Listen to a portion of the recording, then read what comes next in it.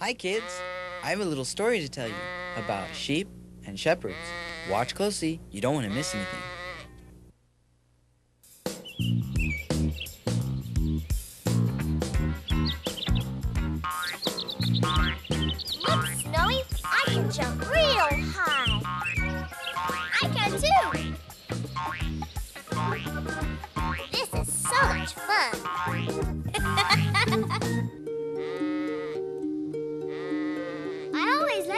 Our shepherd plays a harp for us. Yeah, I think we got the best shepherds in the whole world.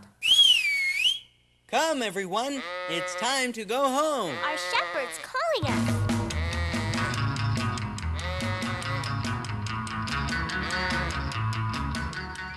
We may not have fancy folds, but we do have sweet sheep.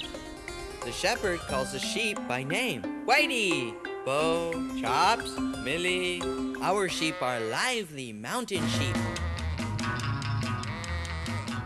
They're not like the fat, lazy city sheep that are sick and asleep with fat shepherds who don't love the sheep but just want them for their wool. Come, sheepy sheepy. Don't be frightened. I have a nice, comfortable food for you. Who are you? Why, I'm your shepherd. Don't you remember? Come here, little sheepy, sheepy. But the true shepherd calls, and all the sheep come running. No, I'm not going to listen to you. He couldn't fool me, that old robber. Jesus is our big shepherd. And if the wolves get too close, he drives them away with his big rod. I'm sure glad that I'm in Jesus' fold. Yeah, Jesus shooes away the bad wolves with his big staff. He watches all the time, and all of his angels and saints also, and nothing can harm his sheep as long as they stay close to him. We have happy sheep and happy shepherds. We laugh and sing and dance and play and bear lots of little lambs.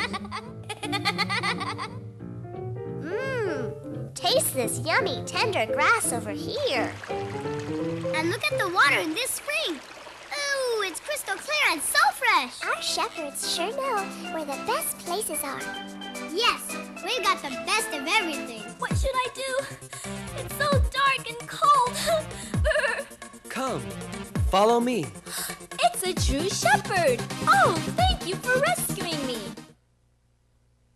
And you know what? There are lots of sheep that are lost and alone that need to be brought into the fold. And if they're the Lord's sheep, when they hear his voice, they will follow. The sheep that come closest to the shepherd get to eat out of his hand, even these little ones.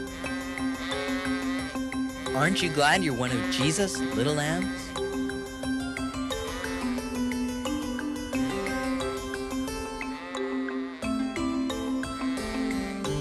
He really loves you.